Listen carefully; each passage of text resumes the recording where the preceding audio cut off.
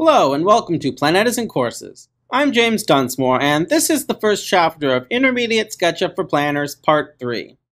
In this chapter I'll provide a brief overview of the course, discuss what you'll learn, and why you might consider taking the course.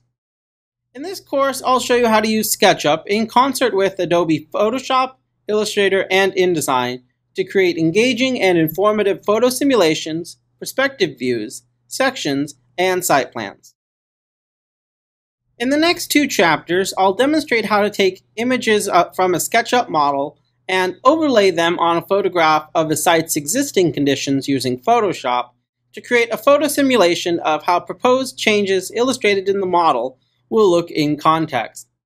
I'll also show you how to add elements such as trees, building facades, vehicles, and people, also known as entourage, to an image of your SketchUp model to bring the scene to life and to illustrate the feel of a proposed development.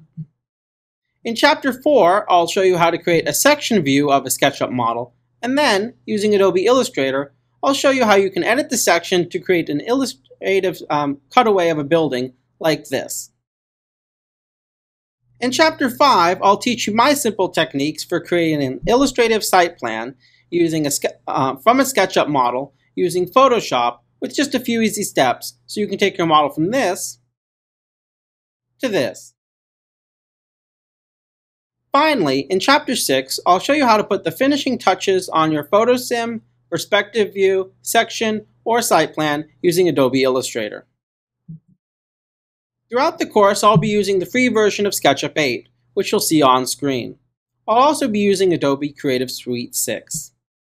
This course is meant for users with basic familiarity with the software. As in the other intermediate level SketchUp for Planners courses, um, if you haven't used the programs before, you should consider taking the Introductory SketchUp for Planners course first, as well as the Photoshop and Illustrator courses if you're not familiar with those programs. While this is the third intermediate course in the SketchUp for Planners series, all three courses cover different material and you can take them in any order you like, depending on what skills you want to learn first. If you're ready to go beyond the basic functions of SketchUp to create high quality, professional grade images like this, then I hope you'll join me in the next chapter. Thank you.